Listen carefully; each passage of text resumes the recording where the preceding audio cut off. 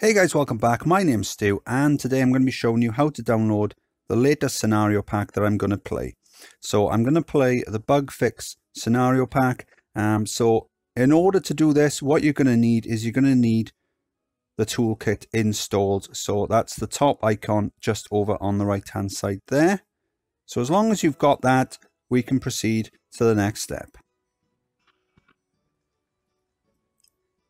In the video description, I will put a link to the Reddit thread where it has the download link on there. So on the thread then, it, at the top, it's got an Imgur album. You can click on that and see a screenshot of the scenarios and also a description as well. And then just scroll down, you've got download them here. And also underneath that then, there's a second scenario pack. So I think what I'll do is I'll download both of them and play through both of them together. So if we click on that, that'll open it up in Google Drive. And then what we can do is we can just click on them one by one and that'll eh, import it into Classic. You can also select all, download it to your device and do it that way. You might need a um, file explorer. If you're going to do it that way, you can probably follow the instructions I set out on the Mayan SOS scenario pack. So I'm just going to do it one by one. So if we do click on that, so that'll import it. Now, the key difference with the Mayan pack and this pack is the Mayan packs were all numbered. All the scenarios were numbered. So if you go into more pack scenarios, these ones aren't. So some of them might be in other, some of them might be then located in um, beginner or expert, and that'll show up as and when we download those. So if we just go back, Valley of the Dragon, we click on always, it should do it straight away then.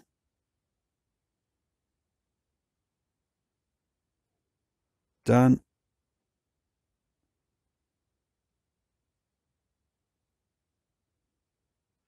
There you go, it's doing it automatically.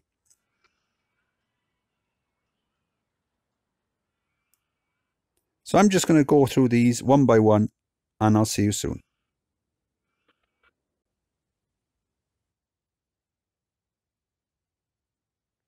Okay, so I've imported the file called sandbox and as you can see, when I'm loading it up now, it's got a green circle going around the inside of the black circle that indicates the loading. Now what I know from trying this previously is that the green circle indicates custom objects. So this is the sandbox designed, I suppose, to play at the end of, of the scenario pack. And then, so let's have a look then.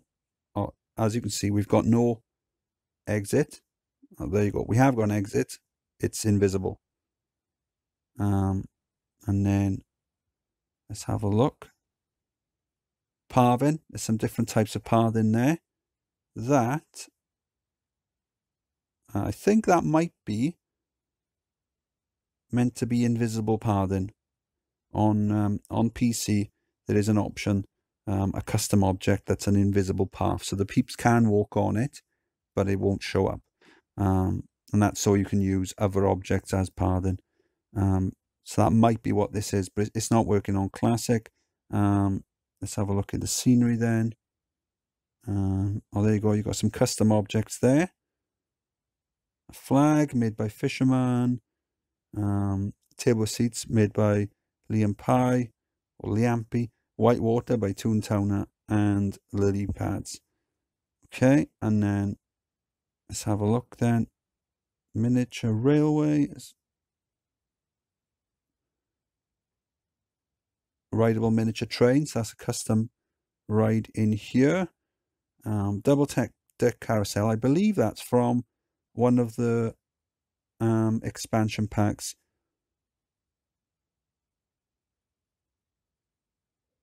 So if you haven't got the expansion pack installed, this might not work for you. Um, coasters.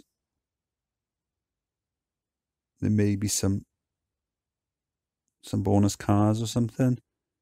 Um, nothing there. Nothing custom anyway. and shops. Oh, look, there you go. So you've got custom shops. So that one will do burger and fries. So it's just a little, a little guy with a stall. Um, what else have we got? That as well. Oh, these are cool. So that should match. Where is it? If we click that on white there. Yeah, that should.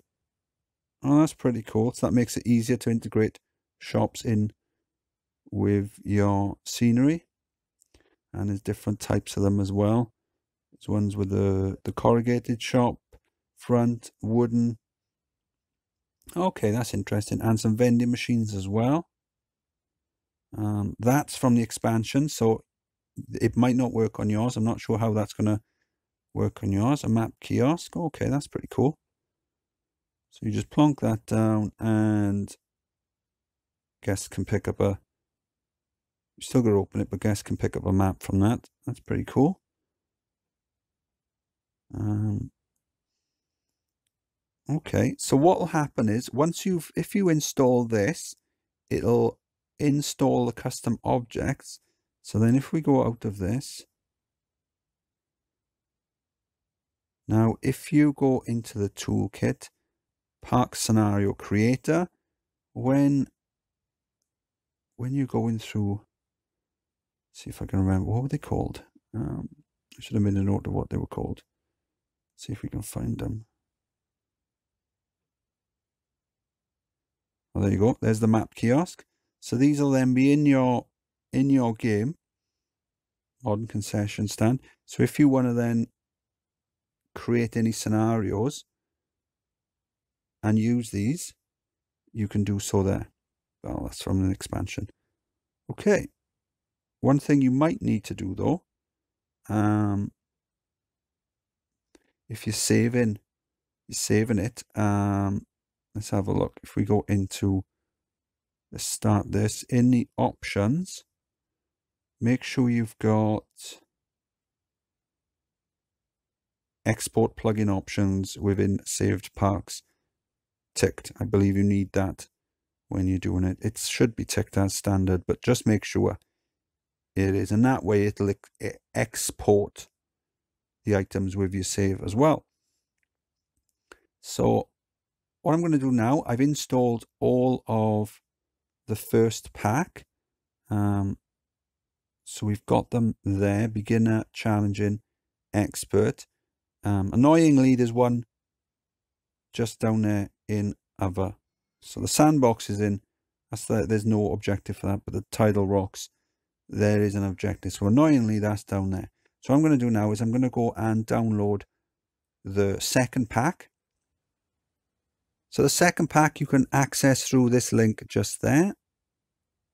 I'll also add a direct link to this thread as well. So again, you've got the Imgur link there and then um, there you go, the top one now. Download them here.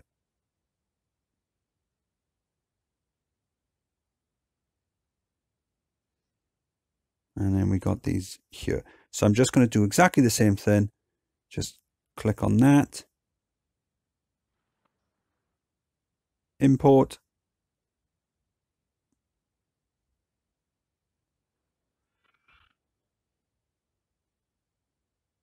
Scroll back. Archipelago. Import. And I'm just going to carry on doing them one at a time and if there's anything of note that happens, I'll let you know. Okay, so I've downloaded all of them now from the first and second pack. The only thing of note from the second pack is that there was another scenario called Tidal Rocks. Now, this is the one from the first pack at the bottom. As I said, it was annoyingly located in other parks. So there is a setting in the scenarios where you can dictate which category it comes under. Um, and then there was also one in the second pack. And I thought I'd install that one as well just to see what happens. And that one then appears under the expert park. So it's got the same goal and the same criteria. So I'm going to assume that that was just a fix for the second one.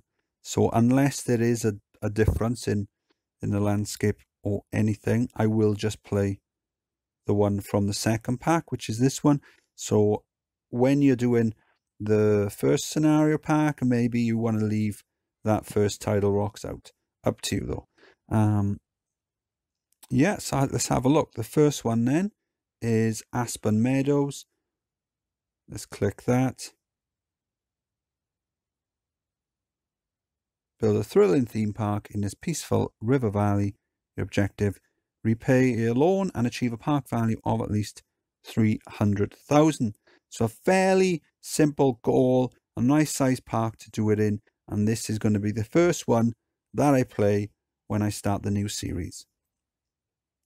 So this was my tutorial on how to install the bug, bug fix scenario pack 1 and 2 on Roller Coaster Tycoon Classic. I am Stu. If you enjoyed the video, please like and subscribe. And I'll see you soon. Bye.